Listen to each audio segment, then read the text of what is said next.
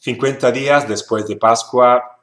los discípulos reciben el don del Espíritu, el Espíritu Santo. Así había Jesús ya anunciado a su grupo durante la cena. Jesús había dicho a los suyos, eh, si me amáis, pues eh, practicaréis eh, mis mandamientos. No hay mandamientos de Jesús en el Evangelio de Juan que leemos en este domingo de la fiesta de Pentecostés. Jesús ha dado solamente un mandamiento a los suyos, el del amor recíproco ese amor fraterno que tiene que distinguirlos como, como discípulos de Jesús. Pues bien, está claro que el que acepta y el que pone en práctica el único mandamiento de Jesús, pues está dispuesto también a,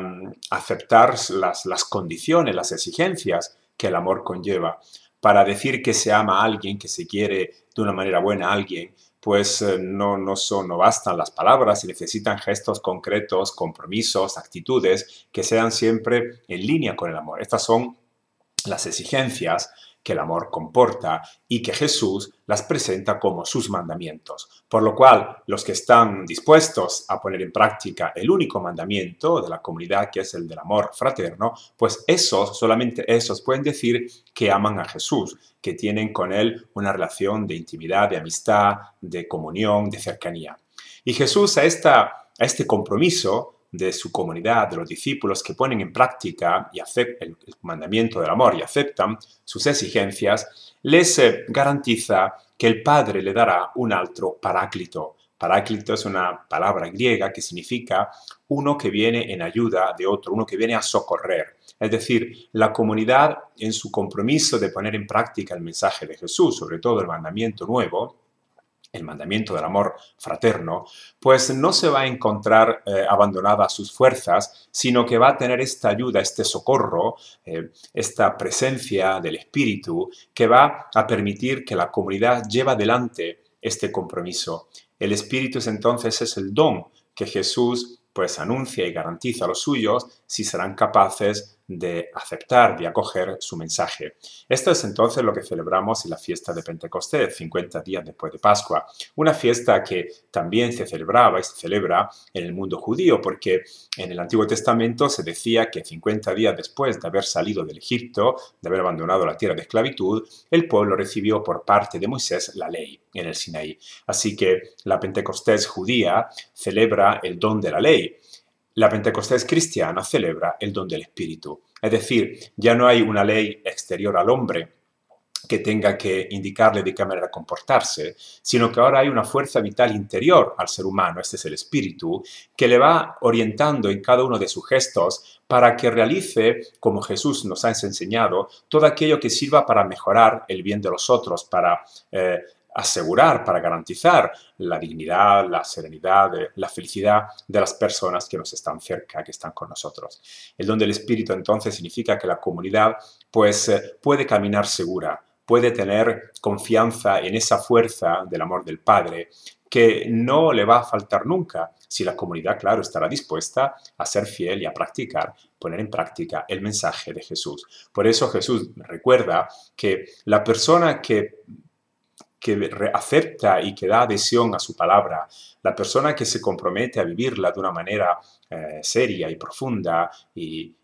comprometida, pues esa es la persona que mm, es la morada donde el Padre va a,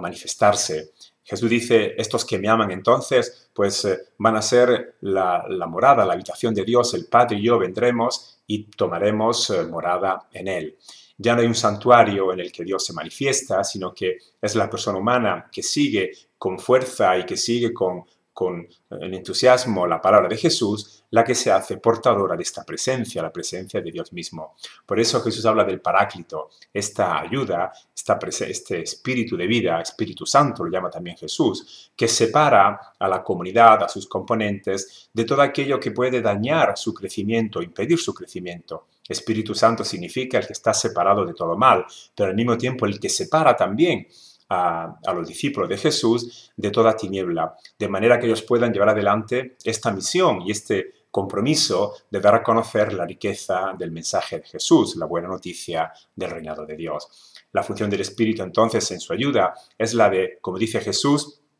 eh, eh, hacer recordar, enseñar, mm, aclarar, mm, permitir que la comunidad vaya poco a poco entrando y con, fuerza en la riqueza del mensaje de Jesús. Significa esto que para comprender el mensaje de Jesús hay que practicarlo. Y más se practica el mensaje con la ayuda del Espíritu, más se entiende. Es decir, que hay como una, una relación continua entre la práctica de la del mensaje de Jesús y su comprensión. No se puede entender lo que Jesús nos ha dicho solamente a través de un libro. Hay que eh, ponerlo en práctica para mm, alcanzar la riqueza y, el, contenido profundo y, y, grandioso de lo que esta palabra, de todo lo que esta palabra contiene. Así que el Espíritu Santo, el que separa de todo mal, pues va a garantizar ese crecimiento humano la comunidad se va a sentir protegida, sostenida, ayudada por esa fuerza vital que es el amor del Padre, y más se, es capaz de,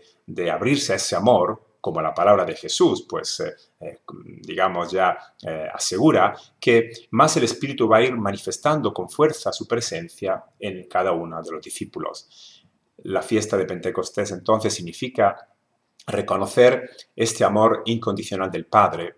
un Padre que nos ayuda siempre, un Padre, como nos ha enseñado, nos ha enseñado Jesús, que se preocupa mm, en cada momento por el bien de sus criaturas. No es ese Dios que absorbe las fuerzas del, del, ser humano, sino el Padre que comunica abundantemente su misma fuerza para que el ser humano pueda alcanzar su desarrollo máximo, su plenitud en la fiesta de Pentecostés, este donde el Espíritu es la garantía de un amor del Padre que está siempre ofrecido y que está siempre garantizado a todos aquellos que se abren a su palabra y que están dispuestos a vivirla y a ponerla en práctica.